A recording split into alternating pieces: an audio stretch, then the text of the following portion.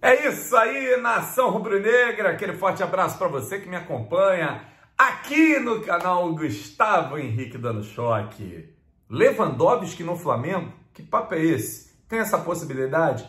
Eu vou trazer a verdade para vocês. Reviravolta geral, reforço confirmado, tudo isso e muito mais. Não perca nem um minuto desse vídeo que é importantíssimo. Acione o sino da notificação para todos os vídeos Inscreva-se aqui embaixo, com 510 mil inscritos, tem prêmio para vocês. E compartilha o vídeo. Aquele forte abraço para você que me acompanha aqui no YouTube, para você que está pelo Facebook. Vamos com tudo. Mas antes, deixa eu dar o um recadão. Final de semana, muitos jogos, e aí a 1xBet chega com tudo. Carregada, pesada e você que se inscreve agora no site pela primeira vez, clicando no link aqui no comentário fixado e coloca o cupom Gustavo, você tem crédito dobrado, limitado a R$ 1.560. Botou 200, leva 400, botou 100, leva 200, 50, leva 100 e por aí vai. Então vem comigo na 1xBet, porque o negócio é bom. Os maiores retornos garantidos na 1xBet. Olha aqui, o Flamengo tem reforço confirmado para o jogo de hoje contra a equipe do Goiás. Davi Luiz está recuperado de lesão e está de volta. Andréas Pereira, Ayrton Lucas, Bruno Henrique, Bruno, Davi Luiz, Derrascaeta, Diego, Everton Ribeiro, Gabi, Hugo, Isla, João Gomes, Lázaro, Léo Pereira, Marinho, Matheus Cunha, Mateuzinho, Pablo, Pedro, Rodrigo Caio, Rodinei, Thiago Maia, Vitor Hugo e William Arão. Esse os relacionados do Flamengo para esse jogo importantíssimo contra a equipe do Goiás. A bola rola quatro e meia da tarde no Maracanã, um jogo cercado de muita pressão. Teremos a entrevista coletiva no pós-jogo do Marcos Braz, Bruno Spindel e também do técnico Paulo Souza. Eu quero só ver o que é que vai acontecer nessa parada. Bom, agora, algumas pessoas na minha rede estavam me perguntando sobre a história do Lewandowski no Flamengo, porque o jogador já falou muito bem do Flamengo, já gesticulou, fez entrevista recentemente falando do Flamengo, da sua grandeza. Gente, o que acontece é o seguinte: o Lewandowski é um jogador de 33 anos. Ele tem contrato com o Bayern até julho do ano que vem. O PSG já procurou e recusou. O Lewandowski, ele tem um carinho grande pelo Flamengo, mas o que ele quer mesmo é jogar no Barcelona. Entretanto, entretanto, o que acontece? O presidente do Barcelona deu uma entrevista ontem dizendo que o Barcelona não tem condições hoje de pagar 40 milhões de euros pelo jogador, 205 milhões de reais. O Flamengo, eu não estou aqui para enganar vocês, eu nunca vou fazer isso. Gente, eu vou ser muito verdadeiro. É um jogador que gosta do Flamengo? Gosta. 33 anos? Tem mais aí uns 3 anos de futebol? Tem. Só que o Flamengo não tem condições de fazer proposta por esse jogador. Para esse jogador vir jogar no Flamengo, só se ele usar todo o carinho que ele tem pelo Flamengo e querer vir para cá. Porque do contrário, vou falar para vocês, a chance é zero. É zero. Porque vocês, eu vou dar um exemplo para vocês. O Vidal, que é o Vidal, que teoricamente é um jogador muito mais fácil de vir para o Flamengo, foi pedir salário de Gabigol?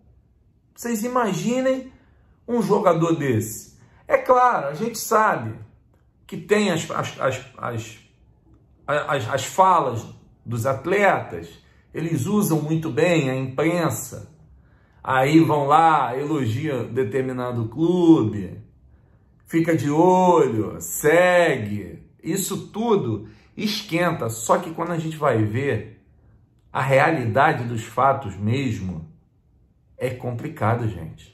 é complicado. Então, assim, é, por mais que se fale, eu estou trazendo a realidade desse fato para que vocês fiquem por dentro e fiquem bem informados, que esse é o meu objetivo, é sempre você bem informado.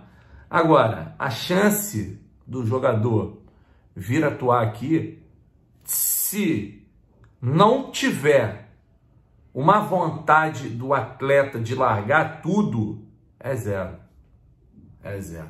Então, assim, mas eu, eu, eu faço questão de trazer isso para vocês, para que vocês fiquem bem informados e fiquem atentos. Reviravolta geral.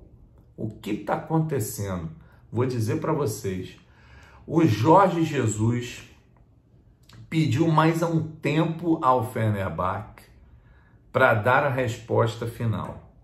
E eu tomei conhecimento que internamente o velho ainda tem a esperança de receber uma proposta do Flamengo para voltar.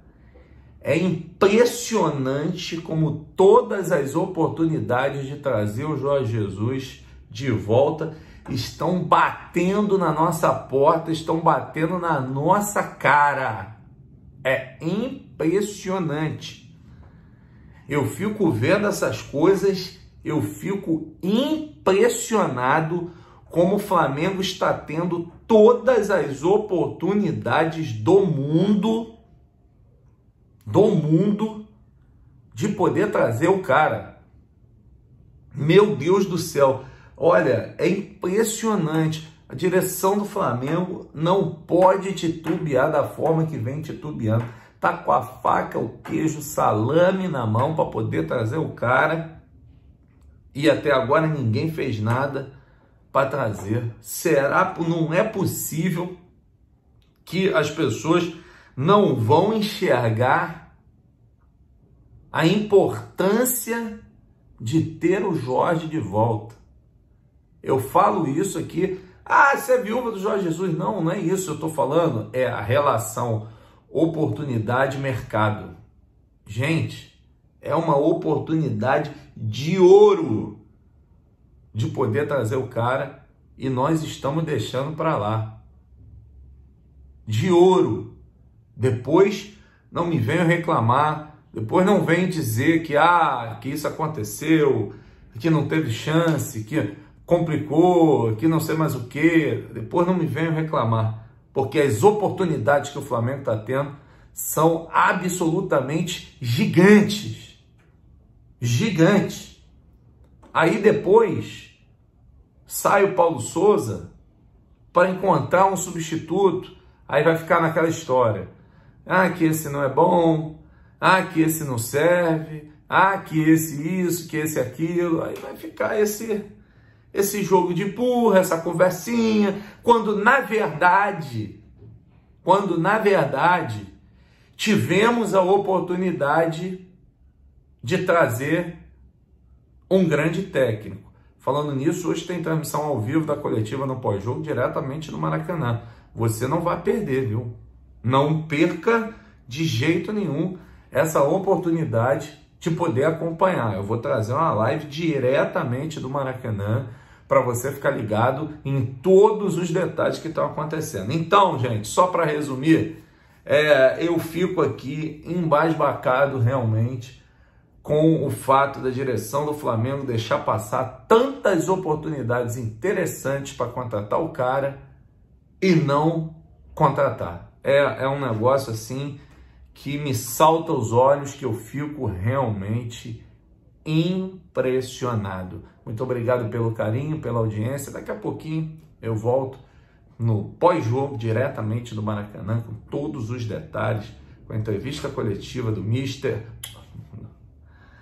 Olha eu com Jorge Jesus na cabeça, com a entrevista coletiva do Paulo Souza, do Marcos Braz e do Bruno Espino. Vamos ver lá o que, que é que eles vão arrumar, como é que eles vão se defender diante de tanta crítica, diante de tanta cobrança, diante de tanta coisa que vem acontecendo no Clube de Regatas do Flamengo. Muito obrigado pelo carinho restrito de cada um de vocês. Para você que me acompanha, qual o placar do jogo de hoje? Flamengo e Goiás, hein? Coloca aqui nos comentários porque eu quero saber o que você pensa a respeito desse jogo. Muito obrigado. Valeu, nação.